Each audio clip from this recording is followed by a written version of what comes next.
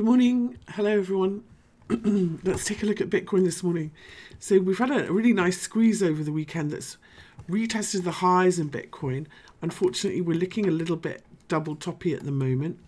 It's not confirmed, obviously, until we come all the way down. In fact, a double top, when you see one, isn't confirmed until you take out the low in the middle. But what it does say is that we've stopped going up temporarily and we're going sideways until we break to new highs. So this is what I'm watching for. So far, looks like a, just a small ABC correction and not too much to worry about.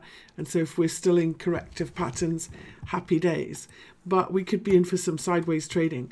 Where the money is going, and I'm going to stay bullish. You know, as long as we're above the 200 day moving average in Bitcoin, I'm going to stay bullish. But, you know, after a really good sort of long run, no pullback at all on this big candle and a retest of the highs, we may see a bit of another swing lower. We may see that second swing lower uh, of correction or third leg, if you like, that we've been waiting for. So if this is our first leg of correction, here's our rally and we'll see another one. Uh, before we continue higher. Uh, no, much, much more bullish picture in ETH. Remember we talked last week about this. This is Coinbase prices. We talked about this resistance level around 167.80 and the fact that we really struggled to get above 160 um, in ETH. New highs today, this morning. At the moment, we're holding at new highs as well. So looking much, much more um, stronger in ETH. And if we take a look at ETH Bitcoin, ETH Bitcoin looks amazing. But what's um, more interesting about this Ethereum is we were, you know, when we moved above the, in, in Bitcoin, when we moved above the 200 day moving average, and when we moved back above, because fib levels are like a staircase, if I go to, uh, if we go to Bitcoin dollar at Bitstamp, and we go and look at the weekly uh, fib levels in this one, which I should have here, like this. Not those ones, those ones. So we'll put it in log scale and we'll look at the rally that we've had from the low in 2015. We'll fib levels are like a bit of a staircase. When you get underneath them, they become resistance. And when you get back above them, you've stopped the trend going down. So in this staircase, if you like, as we were going down in Bitcoin dollar, when we would get underneath fib levels like we did here, they would become resistance. It worked this way at the 50% level. Uh, it's not shown, but I've worked that way at the 38.2. Fact, I'll pop it in and you can see as well. So once you get underneath them, they could become support and then resistance.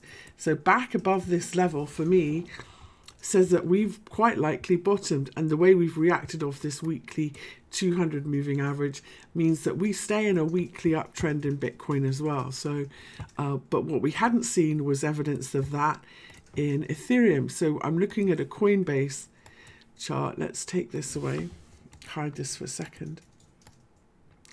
On this Coinbase chart, we'd bounced from this 942 fib, so this 886 fib was resistance, and it was right here at 166. That's what we were holding above. And you know, each time, each time you could drop down through a fib level, and it becomes support, resistance, support, it's. Uh, so this also says that we're bottoming.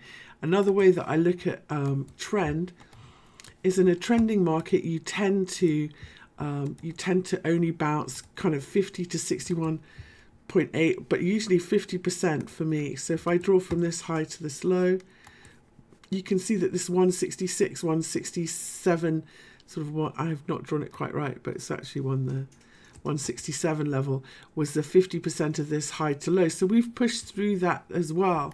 So no longer in a downtrend, I think, in ETH, and we can uh, start buying dips in this one. But what's really interesting and what looks really good for alt season is ETH Bitcoin. It's been quite a choppy chart, this daily chart in ETH Bitcoin. And normally, when you get above a 200 day moving average like we have here, you would expect it to be support and we could carry on higher from here and continue to rally. In fact, I'm looking for all the way up here to uh, 47.68 in ETH Bitcoin. It's a really lovely double bottom pattern in this one as well. However, you know, it's been quite tricky and we keep dropping another level, but what we have done is really solidly held the 200 day moving average. And now it just looks like we're starting to turn up again and we will, uh, and, and so alts should really rip when we see this.